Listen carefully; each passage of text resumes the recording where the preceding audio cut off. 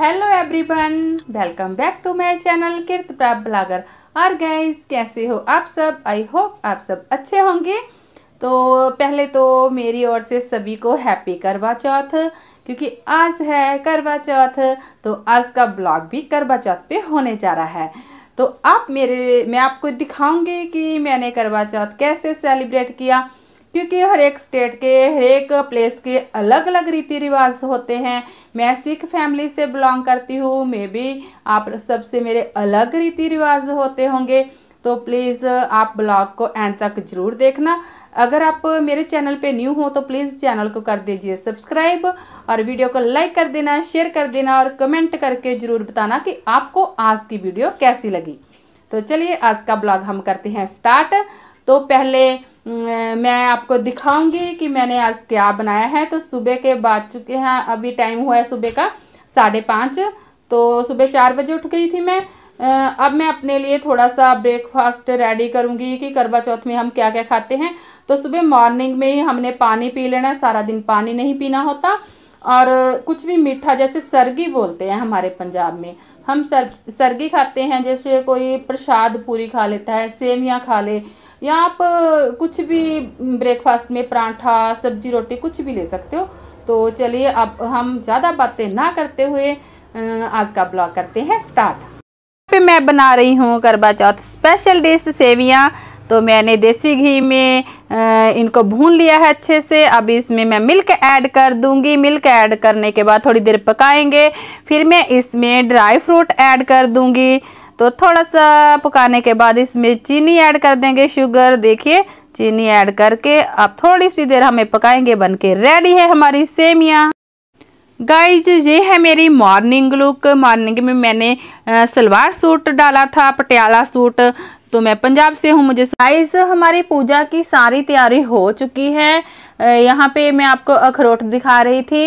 ये कीर्ति के फेवरेट हैं, इसके पापा इसके लिए काफ़ी सारे लेके आए थे। तो इस साइड पे है हमारी पूजा की थाली। यहाँ पे फुलियाँ हैं और खिलौने जैसे होते हैं, पेठा है, एप्पल, फ्रूट वगैरह सारी मेरी पूजा की थाली रेडी थी। तो ये है हमारा करवा। तो मैंने ये छोटा सा करवा लिया था, मुझे इसकी डेकोरेशन बहुत अच्छी लगी। तो मैंने स्टील का इस वजह से नहीं लिया सेट वो वाला, क्योंकि मैं हर एक साल न्यू ही यूज़ करती हूँ, पुराने वाला हमारे नहीं यूज़ करते। फ्रेंड्स अब शाम के तीन बज चुके थे तो मैं रेडी हो गई थी शाम को। मैंने साड़ी डाली थी, अब हम मत्था टेक रहे हैं और भोग लगा रहे थे। देखिए, मैं कीर्त और प्रभ मत्था टेक रहे थे। ओम श्री गणेशाय नमः।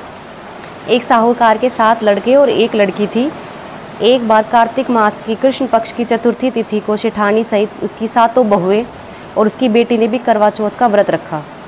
रात्रि के समय जब साहूकार के सभी लड़के भोजन करने बैठे तो उन्होंने अपनी बहन से भी भोजन कर लेने को कहा। इस पर बहन ने कहा, भाई, अभी चाँद नहीं निकला। चाँद के निकलने पर उसे अर्घ देकर ही मैं आज भोजन करूँगी। साहूकार के बेटे ने अपनी बहन से बहुत प्रेम करते थे। उन्हें अपनी बहन का भूख से व्याकुल चेहरा देख बहुत दुख हुआ। साहूकार के बेटे नगर के बाहर चले गए और वहाँ एक पेड़ पर चढ़कर अग्नि जला दी। घर वापस आकर उन्होंने अपनी बहन से कहा, देखो बहन, चाँद निकल आया है। अब तुम अर्घ देकर भोजन ग्रहण करो। साहूकार की बेटी ने अपनी भाभीियों से कहा, देखो, चाँद निकल आया है, तुम लोग भी अर्घ देकर भोजन कर लो। ननद की बात सुनकर भाभीियों ने कहा, बहन, अभी चाँद नहीं निकला है। तुम्हारे भाई धोखे से अग्नि जलाकर उसे, उसके प्रकाश को चाँद के रूप में तुम्हें दिखा रहे हैं। साहूकार की बेटी अपनी भाभीियों की बात को अनसुनी करते हुए भाइयों द्वारा दिखाए गए चाँद को अर्घ देकर भोजन कर लिया। इस प्रकार करवा चौथ का व्रत भंग करने के कारण विघ्नहर्ता श्री गणेश साहूकार की लड़की पर अप्रसन्न हो गए। गणेश जी की अप्रसन्नता के कारण उस लड़की का पति बीमार पड़ गया और घर में बचा हुआ सारा धन उसकी बीमारी में लग गया। साहूकार की बेटी को जब अपने किए हुए दोषों का पता लगा तो उसे बहुत पश्चाताप हुआ। उसने गणेश जी से क्षमा प्रार्थना की और फिर विधि से विधि पूर्वक चतुर्थी का व्रत शुरू कर दिया। उसने उपस्थित सभी लोगों का श्रद्धा अनुसार आदर किया और तदुपरांत उनसे आशीर्वाद ग्रहण किया। इस प्रकार उस लड़की के श्रद्धा भक्ति को देकर एक दंत भगवान श्री गणेश जी उस पर प्रसन्न हो गए और उसके पति को जीवनदान प्रदान किया।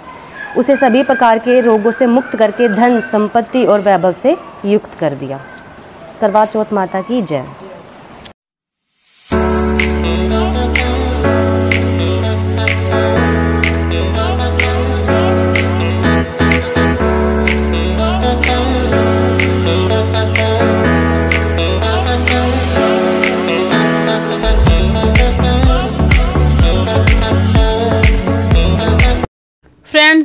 मैं डिनर की तैयारी कर रही थी। डिनर में मैंने पनीर की सब्ज़ी बनाई थी। शाही पनीर की सब्ज़ी बहुत ही टेस्टी बनी थी।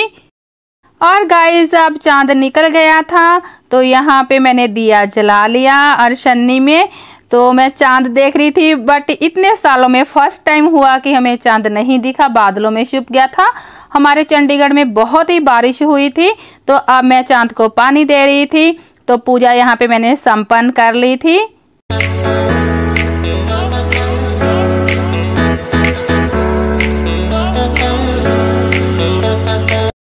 गाइस अब शाम को व्रत खोलने के बाद हम आ गए थे गोविंद डेयरी पे।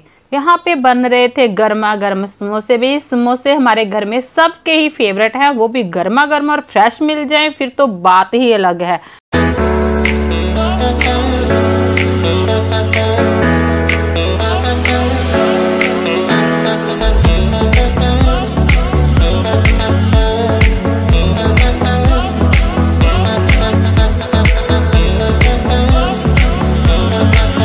मेरे आंटी जी हैं, हमारा बहुत प्यार करते हैं ये। और अगर आप मेरे चैनल पे न्यू न्यू हो, अभी तक आपने चैनल को सब नहीं किया प्लीज़ गाइज़ सब कर देना। और कमेंट करके ज़रूर बताना कि आपको आज की वीडियो कैसी लगी। Thank you so much for watching bye bye